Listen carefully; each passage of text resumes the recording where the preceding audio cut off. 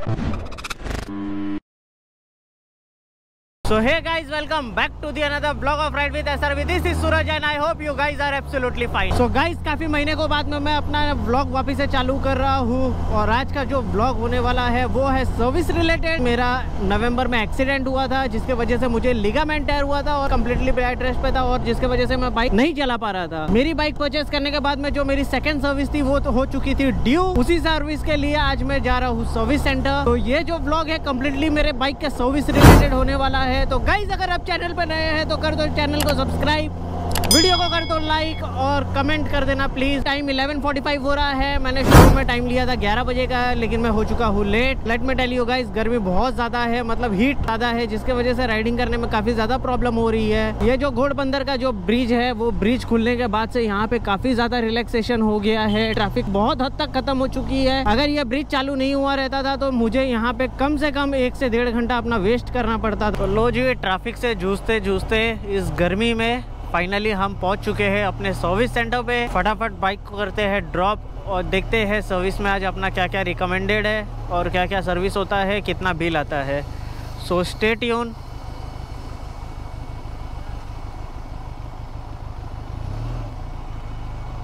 तो guys second service में हमें मिलने वाला है।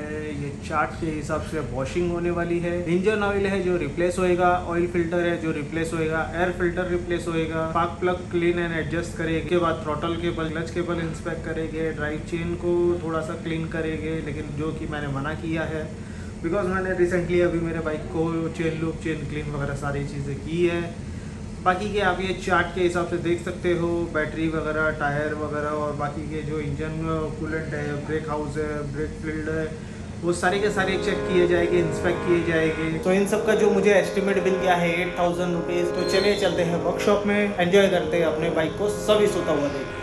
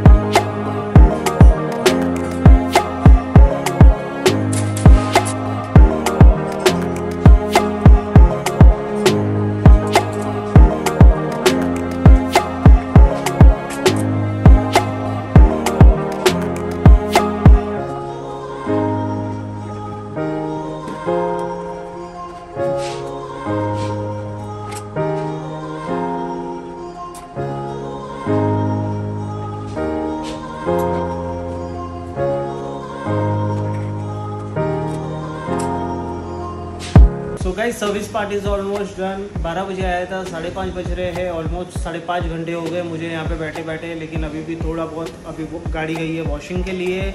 तो मैंने बिलिंग वैसे करा ली है तो आप लोग को मैं बिल एक्सप्लेन कर देता हूँ। सो so, ये मेरा बिल है.